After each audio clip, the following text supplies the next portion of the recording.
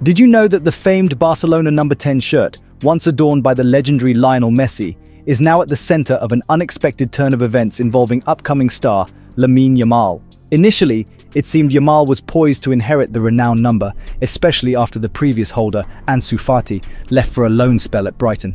However, according to recent reports by El Nacional, it appears there has been a change in plans. The change was reportedly influenced by Nike, Barcelona's kit sponsor, who urged the club to assign the iconic number 10 shirt to another young sensation, Victor Roque, instead of Yamal. Roque, who is set to make his move from Athletico Paranaense to Barcelona in January for a preliminary fee of £25.7 million, is now expected to be the new heir to the coveted shirt.